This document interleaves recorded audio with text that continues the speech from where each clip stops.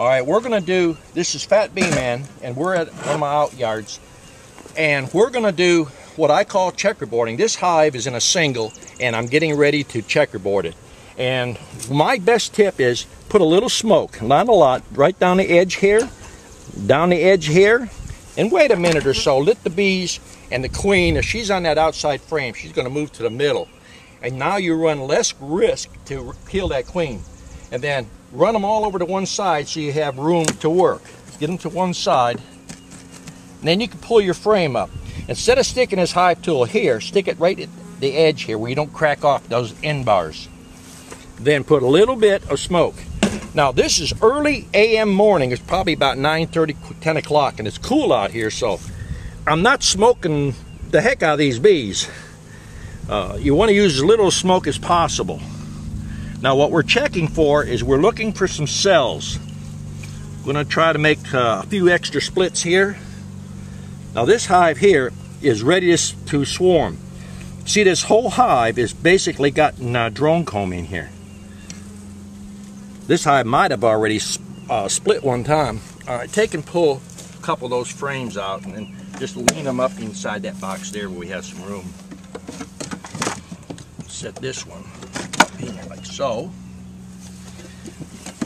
Now, when I put this box on top of this box, all that drone, when it hatches out, instead of throwing that wax away, they'll put honey in there. And then I'll cut the honey out, and then I'll put more foundation back in there. The bees are doing what they normally do. When they get crowded, they make a swarm cell.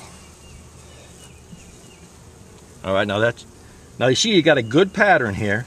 This is all workers all the way here. So there's nothing really wrong with the queen.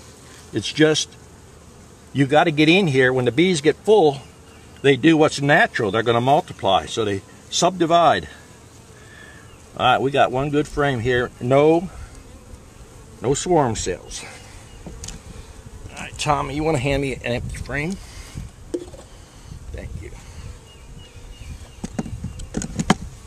All right, I'm going to take this one out and I'm to put this one back. You'll hold on to that one, Tommy. Always good to have extra pair of hands. All right, now let's look at this one here.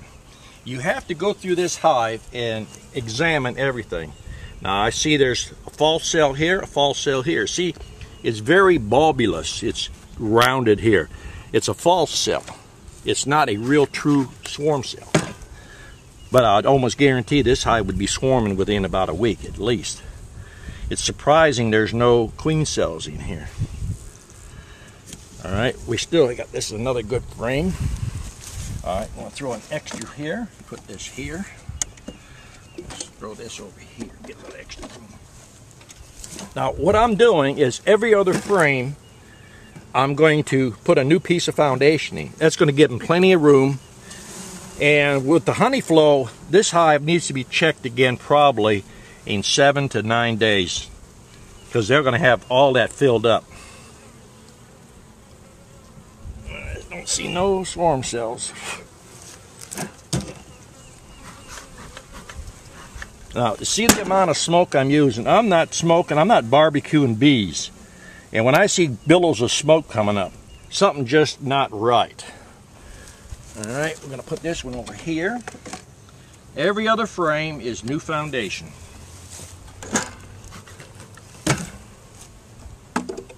Foundation we make ourselves, so we don't buy on stuff. See, I'm doubling my area here as far as the bees covering.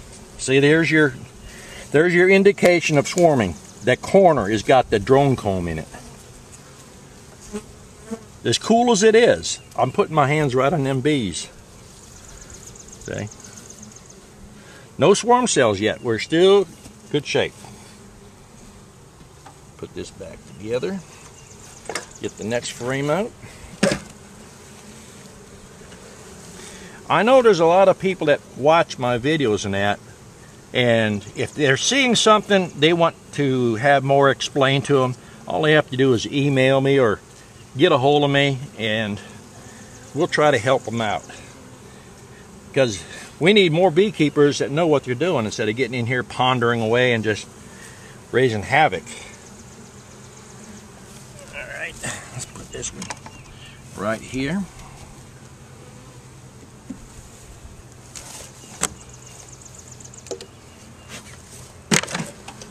We're doing a complete inspection in this hive and we're going to be done in less than five minutes and we're actually looking for our swarm cells. Look, there's where it's starting a swarm cell.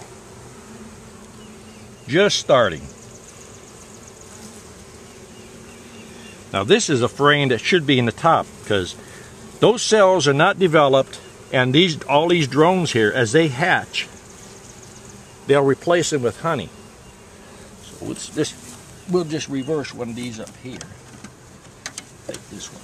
Oh, look at that. We got the wrong frame in there. Uh, what are we going to do? You hear the change?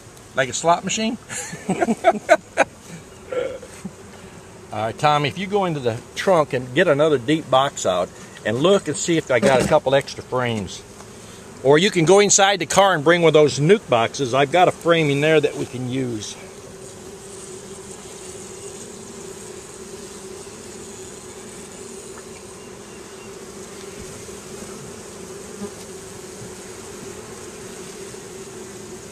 You hear that roar? Now they're starting to roar a little bit. That's because they got the queen over here. I didn't see her, but I can hear. All right, let's see if we got a, open that up and let's see if we got a frame we can use.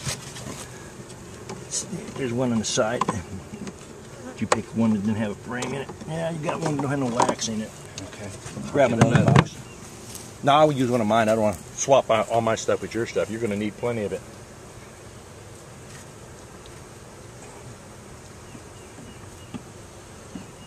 See, this one is not roaring as much as that. That's what. That's one way you can tell where the queen is. When I make a split, I don't even look for the queens.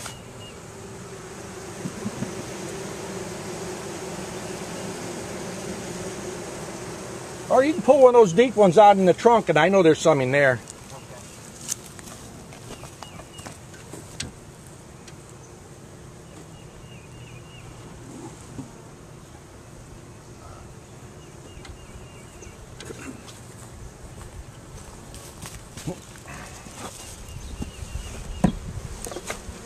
Now what I like to do is center my frames when I'm done with my uh, inspection.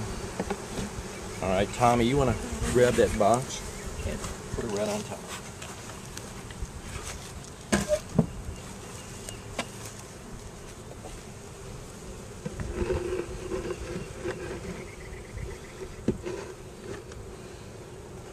Good. All right, now get the feeder and put the feeder on before you put the feeder on, look underneath the bottom of the feeder just to double check, make sure you don't have a queen on it. Look, look at the bottom. All right, look the amount of bees you got here. Mm -hmm. Let's check and see if you got a queen. They're kind of quiet.